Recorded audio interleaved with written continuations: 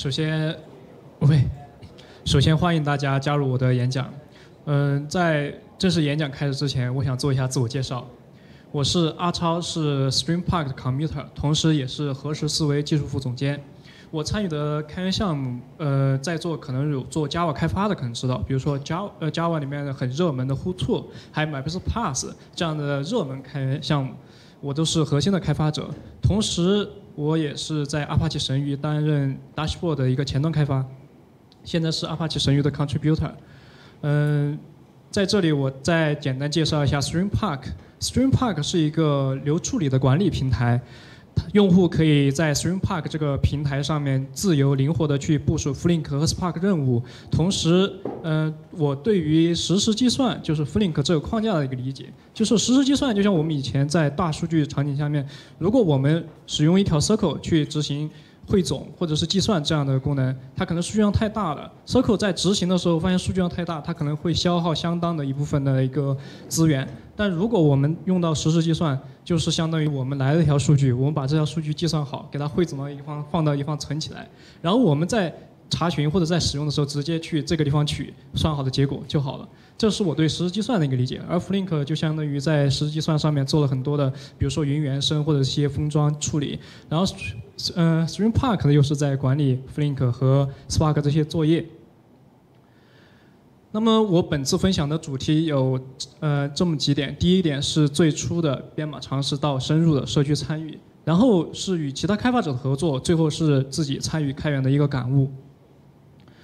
嗯，第一点，最初编编码尝试，我不知道大家有没有记得，就是第一次在给一个代码提交，就一个仓库提交，或者是在初次接触一个项目的过程。然后我还是非常清晰的记住我参与 StreamPark 或者接触 StreamPark 的过程，因为跟刚刚我们上一趴呃聊到的这个晋升路线不一样。像是从用户到 contributor、commuter，然后再到 PMC 等等，然后我并不是按照这样的一个晋升路线去走，因为我本身并不是 StreamPark 的用户，我也不是。大数据相关的一个开发开发人员。但是我是怎么和 Stream Park 连接上的呢？这原因是因为当时 Stream Park 在加入 Stream 呃阿帕奇孵化器之前，那段时间 Stream Stream Park 还叫 Stream X，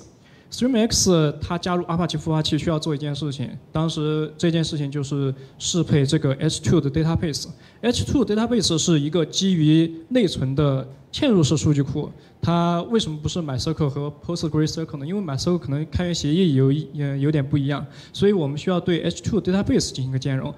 而我刚好是我提到的呃 MyBusinessPlus 这样一个开发者，就是当所以我们的那个。这里是 PPMC 成员王华杰，就是我们这个 StreamPark 项目最初的发起人，找到我。呃，杰哥说，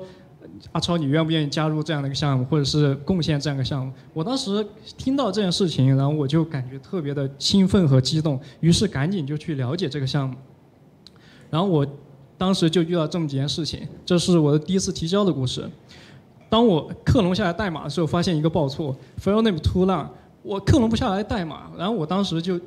很尝试的去解决这个问题。最后发现这个问题的原因是因为我使用的系操作系统是 Windows，而 StreamPark 大多数开发成员使用的是 Mac。然后呃导致这个问题之后，我又尝试去运行代码，就呃加上这个参数解决这个问题。运行代码的时候又又遇到类似的问题，同样因为环境。当我成功把项目运行起来之后，我就东瞅瞅西看看，从我一个很普通的一个 Java 或者是一个管理平台的一个经验，去看看能不能贡献上什么。最后我在 StreamPark 写下了我的第一行代码，是关于一个前端，嗯，处去处理请求里面携带的 undefined 这样一个参数的一个小小问题。这个一行代码作为我在 StreamPark 的一个开始。提交上去之后，嗯，这就是呃，然后就是下一部分，呃，下一部分讲讲自己的一个深度社区参与。提交上去之后，没有想到这个 PR 很快就被合并了，社区响应的速度非常之快，就超出了我的想象。虽然我呃花费了很多时间去提交这个 PR，这个 PR 看起来也是非常的微不足道，但是合并了给了我一个非常快的一个很好的一个正反馈，我就想想能不能继续再帮上另外一个忙，就是说继续去贡献。结果我就找了找，发现 StreamPark 存在这样一个 bug，就是在使用 MyBusinessPlus 过程中无法。在自定义的 mapper 里面使用分页，那这个时候我发现它少了这个分页插件，我觉得相当于在 MyBusinessPass 这个层面给它配置上去了，将后端代码提交上去。但是和第一次不一样的情况出现了，就这里的 CI 没有通过。这个时候我才去了解到，哇，Checkstyle 和 CI 这些工具，嗯，是为了检验我们代码质量的一个工具。然后我去查阅了 Checkstyle 相关的一个使用说明，并且问呃咨询了相关的。比如说我们的 PMC 成员找到了之后，呃，原来需要在本地去确保 checkstyle 命令的通过，这个时候代码这个 CI 才能通过。于是我最后发现 CI 的一个没有通过原因是没有添加 license header，然后并不是代码出了问题。我把 license header 添加之后，这个 PR 也是很顺利的被合并了。合并了以后，我就想想自己能不能再持续的贡献。后面是这样一个深度的社区参与，是关于用户的删除。StreamPark 作为一个管理平台，它自然也有一些用户。那我们当时在 GitHub 上发现一个 issue，是由一个用户一位用户他们提出他们公司所使用 StreamPark，但是他们遇到一个问题，就这个用户在离职以后，我们将这个用户删除，删除之后发现，就这个用户创建的一些作业和资源不翼而飞，根本找不到了。那遇面临这样一个问题，我们社区围绕其进行一个讨论，怎么去改改掉这个问题，解决这个问题，去修复掉。我们这个 bug，社区最后决定两点：第一点是说把用户的删除改为禁用，这样的话避免我们其他地方报空异常、空指针这样的；第二个就是在禁用的时候确保万无一失，我们还要判断一下这个用户下面有没有资源，有资源的话我们给他转移到其他嗯没有没有被禁用掉的用户上面。这个功能决定下来以后，我就尝试去编码，因为我把它拆分为两部分，就第一部分是后端的编码，第二部分是前端的编码。然后在后端的部分，因为我比较擅长，我就很快去将后端功能实现，并且添加了完善的单元测试，确保后端功能万无一失。结果在前端功能的编写中遇到一个问题，当时 StreamPark 使用的是 Vue 三，并且就刚刚提到 Vue 三，并且使用的是一套组合式 API，其中的呃 StreamPark 对 Vue 三封装了特别，就是形成了一个特别良好的一个封装。呃，等于用户开箱即用，并且只需要调到 API 就能实现表单表格的一个构建。但是我遇到这个问题，是因为我没有对那个组合式 API 去尝试过深入的了解，没有看它的源码，导致乱用，用出问题来了。用出问题来之后，我就想怎么办？我觉得最好的方式，或者是最快的途径，就是找到封装这个封装这个代码的人，就是我们的 P P P P M C 成员王思柱，就是思柱哥。我找到他。嗯，告诉他我的，说明了我的来由，我需要这样一个帮助。思柱哥响应特别迅速啊，就是说，这样吧，你开一个在线会议，你把屏幕共享给我，我告诉你怎么去找。哇，这当时就给了我一个很大的 shock，就是震撼。然后我就说，哇，原来还可以这么解决问题，社区竟然有这样的一个热心小伙伴。然后。四柱哥给我帮我排查定位发现了问题之后，还给我耐心的讲解了就是背后的原理，这个到底是怎么回事，为什么会出现这样问题，下次应该用怎么样怎么样的方式，这个就是我非感在参与开源里面非常大的一个感触，就是社区大于代码，因为你会发现社区里面有很多这样的技术大牛，愿意带着你一起成长，愿意陪着你，还有就是在自己。同在接受这些大佬的帮助之后，自己也会有一些反思，自己的一些经验所得能不能帮助更多的人。然后接下来一趴就是着重的去讲一些与其他开发者合作，这里主要是讲两个案例。第一个是关于代码规范的一个整改。当时在呃 StreamPark 中面临这样一个情况，就是我随着我们的功能越来越多，模块越来越多，我们代码量也越来越来越多，但是出现。A 贡献者可能喜欢这样的命名方式或者这样的编写规范，B 贡献者又喜欢那样的，大家的规范并不统一。于是我们决定梳理出一篇文章，呃文档，然后并且将这个规范文档去落实，统一掉我们的整个项目，并且不让整个项目看起来代码层面看起来比较割裂。于是社区围绕其进行一个激烈的讨论，决定怎么样去梳理一个良好的文档或者是良好的规范。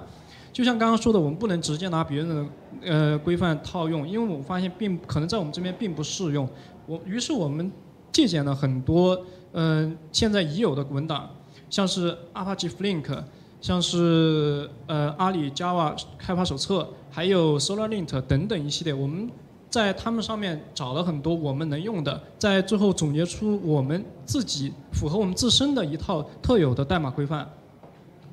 然后。拆分为呃规范定下来之后，我们就是拆分任务，因为如果进行这么大一个规范的整改，那是天翻地覆的。于是我们决定拆分是一个一个细小的任务，然后这样来希望能够招募到更多的志愿者或者开发者，借助社区的力量一起来完成这个任务。这个时候，呃，拆分完任务之后，我们我最后就是实现阶段，实现了这个任务之后，呃，我们就是通过招募志愿者，刚刚也提到，就是还有一些愿意或者是想要贡献 Stream Park 的一些开发者，我们去呼吁他们一起来加入，一起来完成这个任务。这也成为很多的小伙伴的一个 good first issue，或者是第一次的提交的一个契机。在这里我要提到一位我们的社区的 committer 潘岳鹏，岳鹏哥也非常的细心，在上面，嗯，无论是就是拆分任务，还是说进行一个呃整个工作的推进，还有统筹，我觉得就在岳鹏哥在其中都是起到至关重重要的一个作用，并且这里有个细节，他在拆分任务的时候建了 GitHub 上面建了非常多的 issue，那这些 issue 是通过 GitHub 的一个 API 去建的，这让我感觉非常的酷。最后我们梳理出来的规范是大概是这个样子，在我们的那个官方文档上面。这个规范前一段时间我看见 Apache Heartbeat 也同样借用了我们的一些规范，这样我们同这样我同时感觉到我们的规范得到另另外一份认可。接下来就是讲讲文档的一个翻译，因为社区呃开源并不只仅仅只是代码，它还需要一个文档来告诉你怎么去运作，所以文档的。重要性也就不言而喻。我们之前也提到了，就是文档的一个本本地化的一个重要。当时 Stream Park 面临这样一个问题，就是我们的收集的博客，也就是说，官方从非官方渠道收录的一个博客是中文，而官方去编写的一个文档给开发人员的却是一个英文的文档。这样就看起来并不是非常的完善，就一部分是中文，一部分英文。于是我们为了解决掉这个问题，就我就决定去呃参与里面的翻译文档工作。其实翻译并不只是翻译，还有一个校对。因为我本本身的英语水平并不是特别的自信啊，所以说我就找到了我们社区另外小伙伴顺哥，去找到他去完成翻译校对的工作。完成了以后，还找到岳鹏哥去进行一个格式的调整，还有一个 review。最后完成了文档的一个翻译工作，接下来就是自己参与开源的一些感悟吧。可能今天然后演讲有点快啊，因为去年在 Apache Community Overcode 的大会我也来到了现场，在北京，当时我听到了我们社社区的 Stream Park 的 PPMC 成员陈卓宇说了这样一句话，他说：“做难事，做难事必有收获。”今天我也想在这里分享给大家一句话。就是做任何力所能及的事，只要他对社区、对自己有意义，并且无论他是多么的微不足道。这句话可能有点长啊，但是从我的感觉来讲，就是无论呃有些时候不要问，就是自己能做什么，就是你你能做什么的话，呃就不要让别人来告诉你能做什么，你自己能做什么你就去做。无论是代码的翻译，或者是文档的翻译，就是代码，甚至一个很简单的这个 PR 都可以。都可以成为参与社社区的一个契机，因为社区最终会记住你的所作所为，并你所做的一切都是有意义的。就像我现在呃成为 committer，或者是得到了社区认可，同时也提升了自己的一个技术站，还有就是得到了认可。因为我们这一届零零后啊，其实很需要一个词，就是被看见。就是 让看见了之后得到一种认可，无论是身份的认同，还是说加入了一个社区，得到了一些小伙伴的一些认可。最后就是讲讲我个人的一些独特经历，因为我本身并不是科班出身，和在座很多不一样。我高中辍学了，然后辍学之后我就去尝试了各行各业的工作。我跑过外卖，去当过保安，做过物流分拣，还去网吧当过网管，做过很多服务生的工作。然后最后接触了互联网是通过。一款游戏 Minecraft，然后了解到它是 Java 编写的，我可以写一些服务端插件。最后发现它 Java 广泛应用于服务端，呃，服务端的一这样一个应用，我就去了解了 Java 的相关的一个服务端框架。随后去了解到 Java 的这样一个生态，最后接触了开源，我发现在开源我找到自己的归宿，并且在这里得到了认可。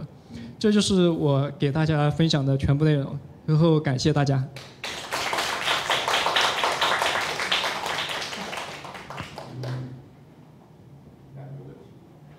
嗯，接下来进行进行一个交流时间，或者是大家有没有相关的一个问答时间 Q&A 环节？